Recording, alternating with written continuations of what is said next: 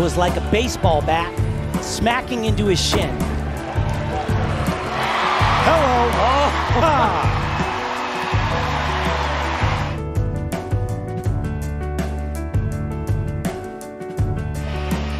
Intentionally. And much better. He had a problem on that night one. Little bit clunky.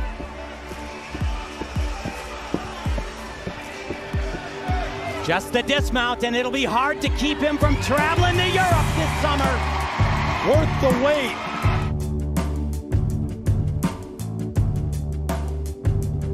At all. This is a great event for Asher in a place where Team USA could use a really strong routine. Physically very, very capable. Look at the perfect strength hold position. Got to hold these for a full two seconds.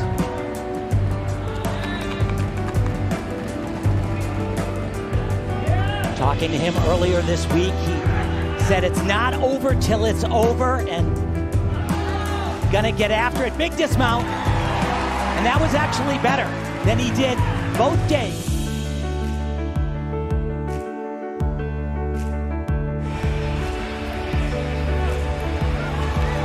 Just something a little bit different about Fred.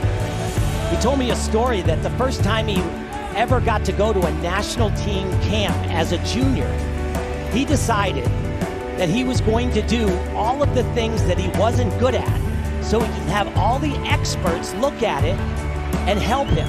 And that is the exact opposite of what you usually do in that situation. You usually want to go and show only your best stuff so you can impress in that moment.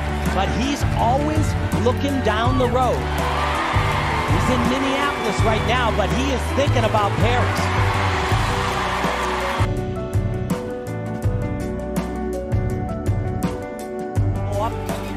On the event, it got turned up to 11.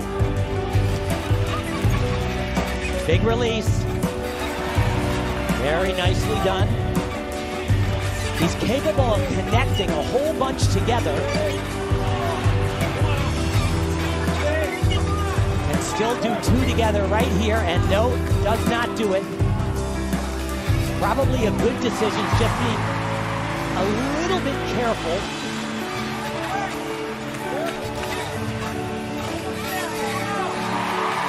Gotta go to a handstand. That was pretty darn good.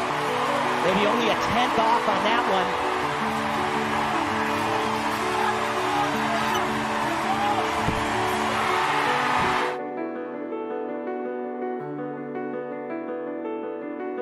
Five members of the 2024 Men's Artistic Gymnastics Olympic team. Paul Juda.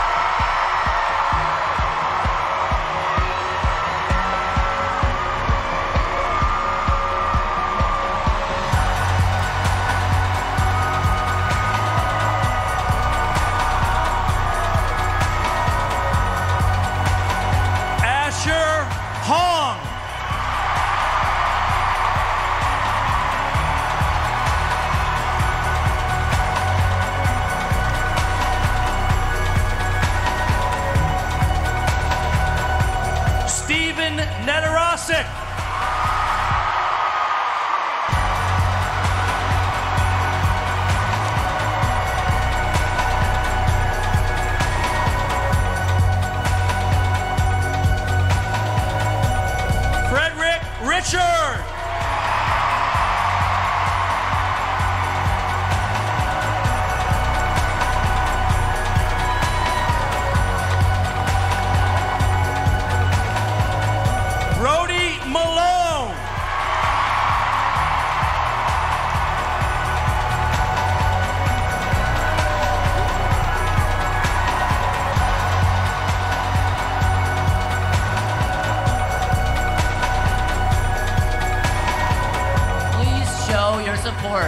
Congratulate the two replacement athletes who will travel with Team USA to Paris.